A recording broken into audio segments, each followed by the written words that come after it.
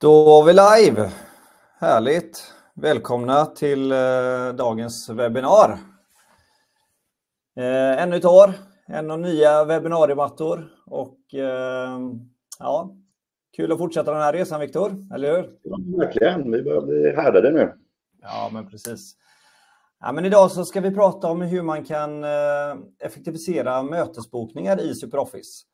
Och eh, ni känner säkert igen den situationen att man ska ha ett möte med en kund eller en leverantör eller vem det nu är och så bollar man fram och tillbaka eh, och försöker hitta en tid och det kan ibland vara eh, ja, det kan vara ibland vara lite en eh, utmaning helt enkelt. Men detta ska vi försöka visa att hur man med SuperOffice och en tilläggsprodukt som heter eh, Book My Calendar kan lösa lite effektivare. Jag heter även i år Jonas Johansson och eh, jobbar som presale på SuperOffice. Och som sagt eh, så har jag även med mig min eh, vapendragare här eh, från vår partner i Centrum, Viktor Olmin. God morgon, god morgon. God morgon. Ja, vi fick ju betyget förra säsongen, Viktor, att vi var lite som ett gift par och jag funderar lite grann om, om det är ett bra eller dåligt betyg.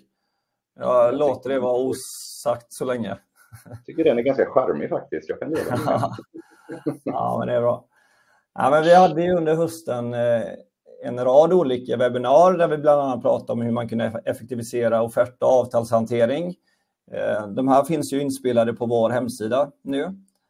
Eh, och vi kommer även ha en, ett gäng nu inför våren där detta är det första för våren då. Och även de kommer spara sen på vår hemsida helt enkelt. Men idag så börjar vi med den appen som i Centrum har utvecklat som är då en tilläggsprodukt i SuperOffice som heter Book My Calendar. Ni får jättegärna ställa frågor via chatten så kommer jag försöka hjälpa er så gott som möjligt. Eh, I övrigt så, så tycker jag att vi är redo att köra igång. Eller vad säger du Viktor? Ja, men absolut. Så då tar väl jag taktpinnen och eh, kör vidare. Yes. Så innan vi hoppar in och eh, tittar lite på hur den här lösningen faktiskt eh, ser ut så tänkte jag att vi drar bara en liten kort eh, introduktion till vilka i centrum är så att ni förstår lite kompetensen bakom vad vi faktiskt, eller varför vi gör de här sakerna. Så vi på i centrum jobbar med, anpass, jobbar med anpassade speciallösningar och appar eh, som utvecklas då inom SuperOffice standard. Och idag är vi faktiskt en av SuperOffices mest anlitade partners. Alltså vi hade tioårsjubileum förra året. Vi grundades då redan 2013, men den samlade erfarenheten går tillbaka över 20 år. Och Filip, vår VD, var tidigare konsultchef på SuperOffice faktiskt.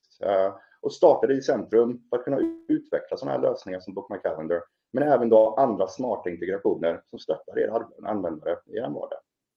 Så vi är idag fem, eh, 14 utvecklare, fem projektledare och en växande sälj och marknadsavdelning där jag själv sitter. Så här har vi en glad bild på teamet. Det här arbetet började då 2020 och vi jobbar ju naturligtvis kontinuerligt med att göra den både smartare och mer effektiv.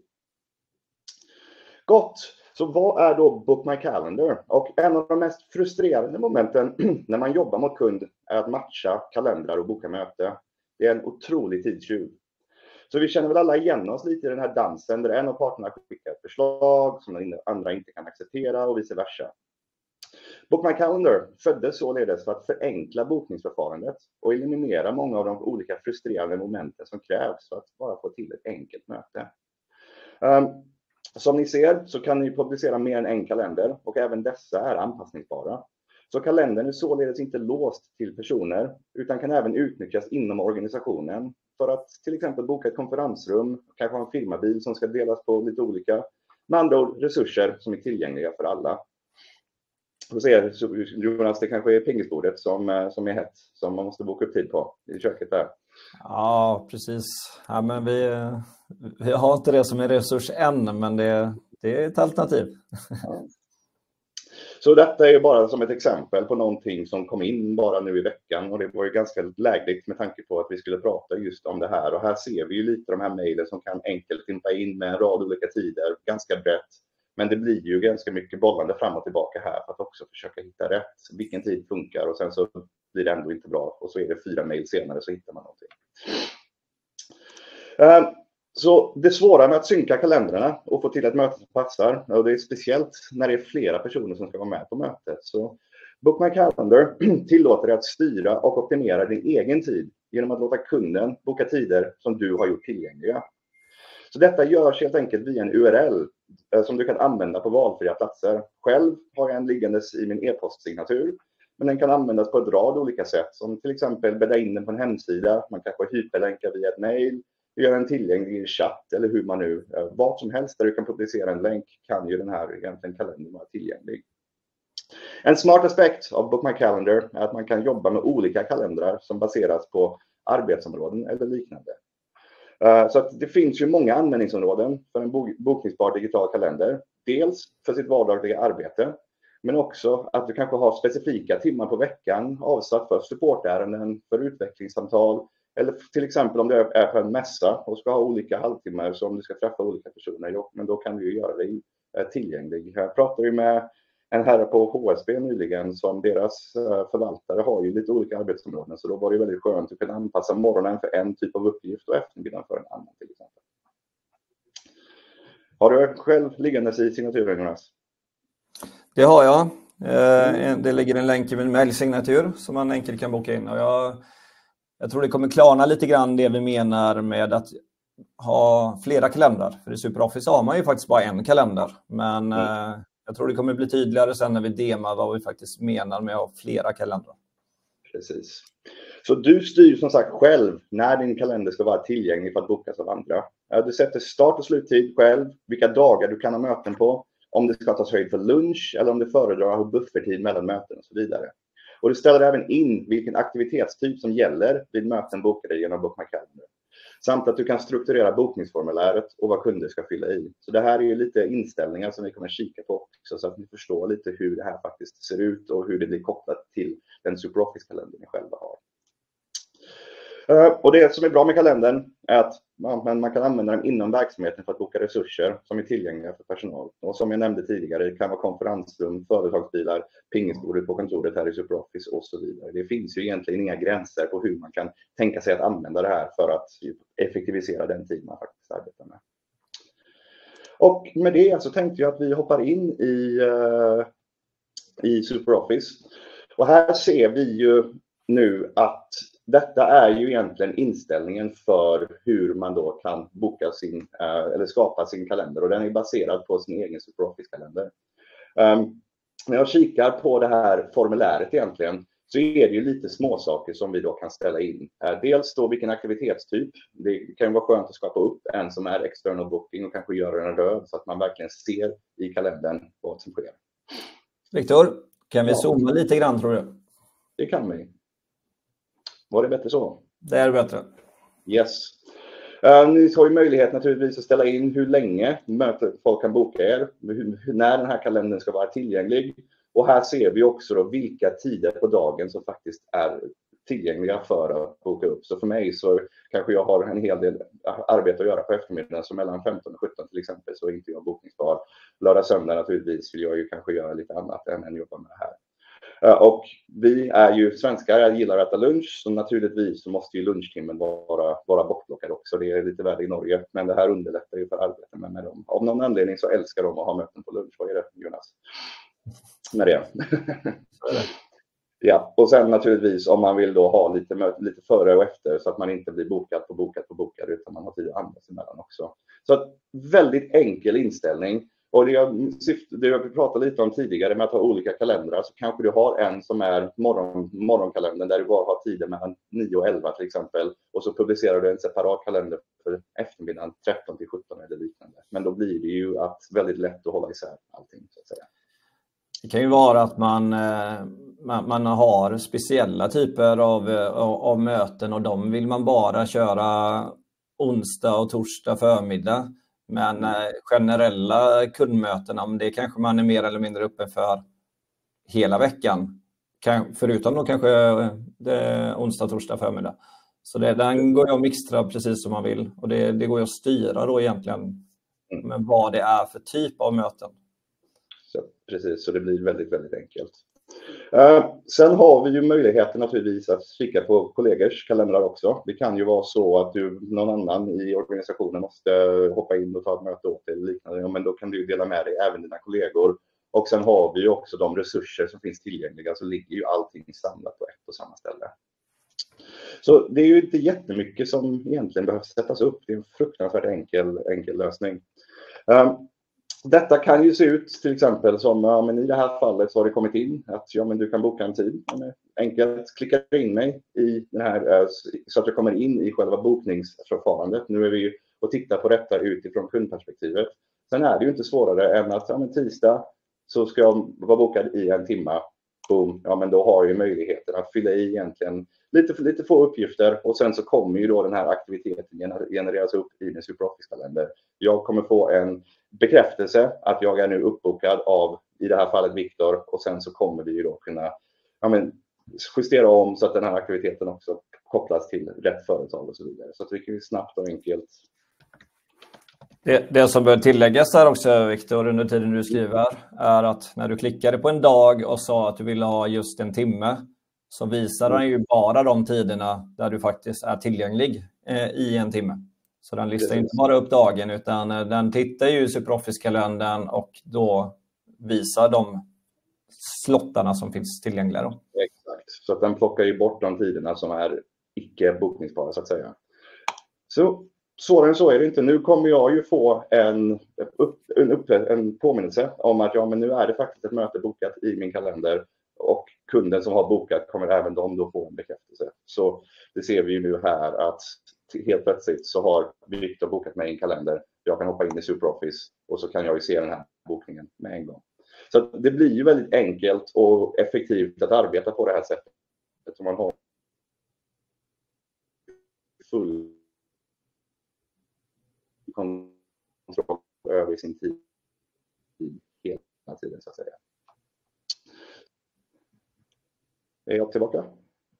Ja, du eh, hade dåligt ljud där, eh, Viktor. Eh, så ta gärna den meningen en gång till. Det verkar vara, ja, det verkar vara lite med min, mitt internet verkar vara lite svajigt. Um, men så ser jag, vi kan ju hoppa in och se att i nästa vecka så har det ju kommit in en bokning precis på den tiden som då är Booking External som vi sa tidigare. Här kan jag sen gå in och kanske ja, men det är ett kundmöte med partner och det är med SuperOffice.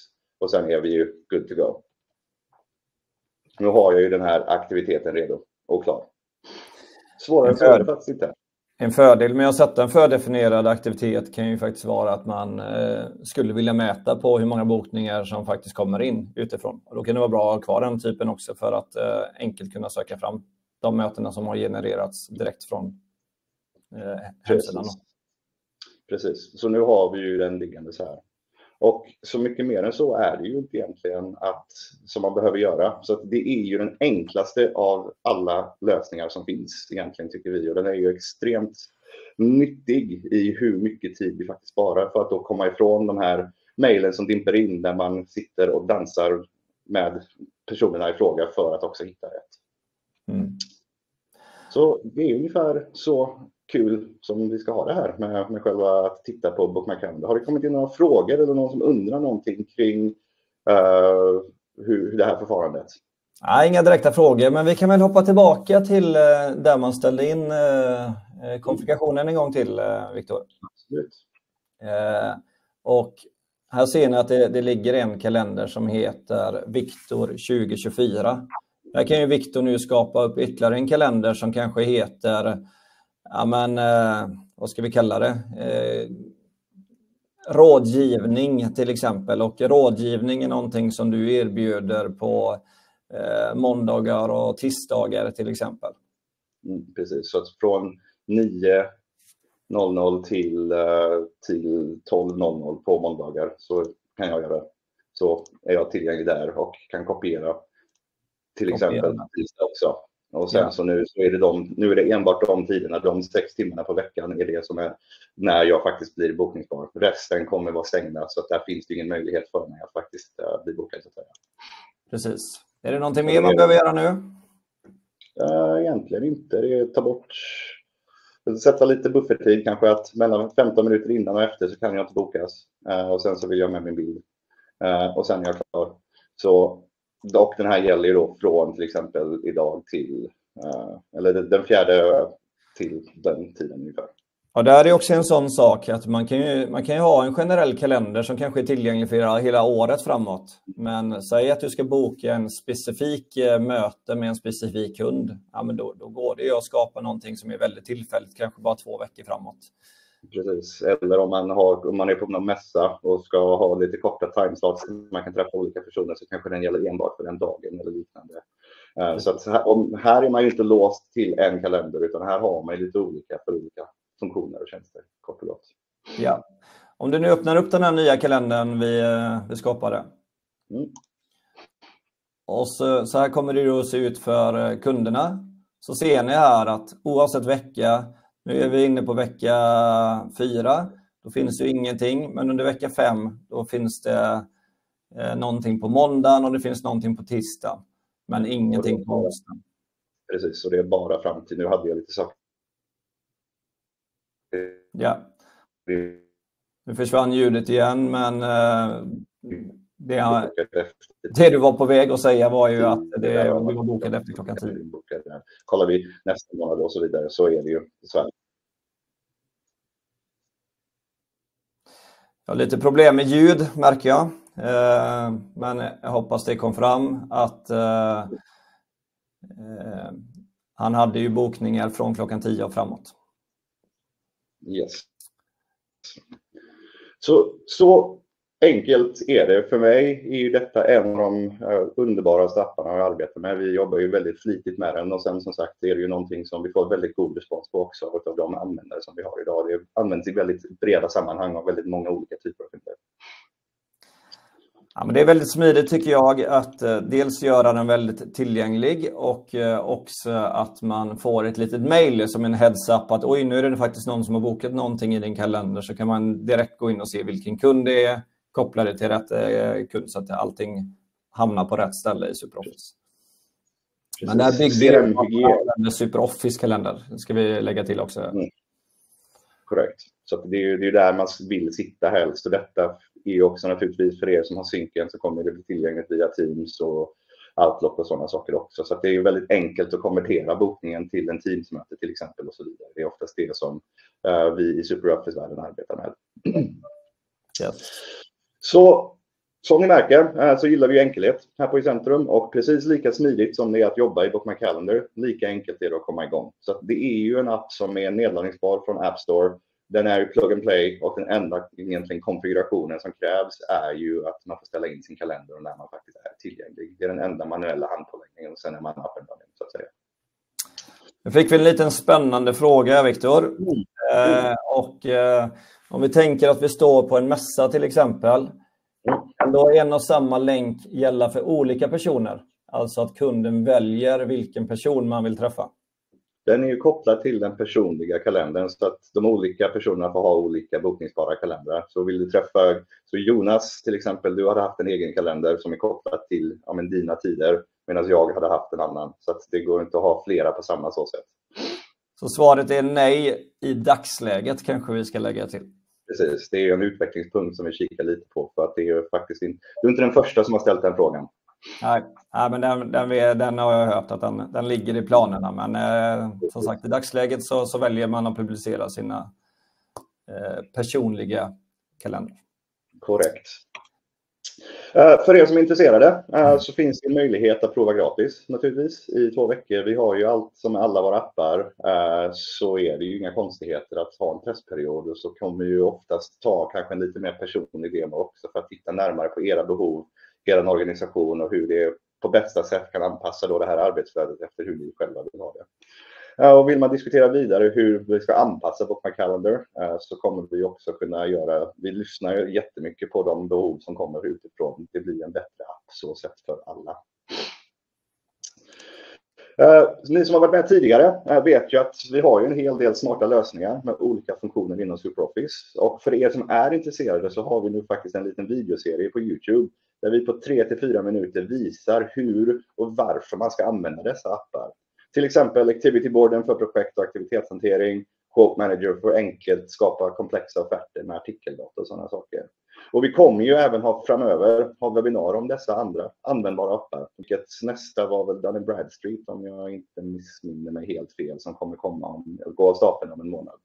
Så för er som är lite intresserade så har vi möjlighet att förklara våra appar på ett kort och koncist sätt. Och det finns ju då på Youtube. Vi är väldigt stolta faktiskt över den här lilla serien. Så den lanserades efter ja, i julas ungefär. Och det var väl egentligen det som jag hade att säga idag. Det blev ett lite kortare webbinar, men det har ju också med att göra att det är en väldigt enkel lösning. Så att man behöver inte överförklara saker som är så pass, så pass ja, enkla egentligen. Ja, men precis. Ja, men som ni ser här så har vi planerat, Bookmark Calendar var den har vi ju, kan vi stryka nu, men sen så har vi några spännande framför oss eh, under våren. Salesboard, eh, någonting som alla säljorganisationer borde vara intresserade av. Dun Bradstreet-koppling och Riskadian för att ha, säkerställa kvalitet på, på sitt register. Eh, väldigt, väldigt värdefullt. Och eh, mm. SharePoint, hur man kan jobba med eh, en integration mot SharePoint. Precis. Men, ett steg längre där och byggt någonting som gör att ja, men det blir mer möjlighet, större möjligheter att jobba även med delar av organisationen som kanske inte sitter i SuperOffice och liknande.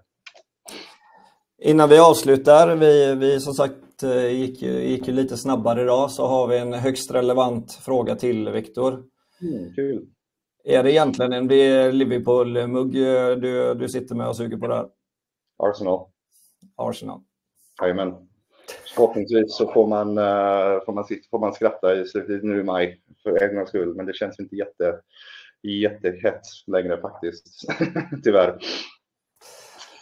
Ja, men vad bra. Eh, nästa webbinar är Salesboard tror jag eh, faktiskt, eh, Viktor. Eh, och eh, Heidi la precis ut länken till den nu, så gå in och anmäl er. Jag lovar att detta är någonting som eh, för alla företag som jobbar med försäljning och pipe kommer tycka detta är bra.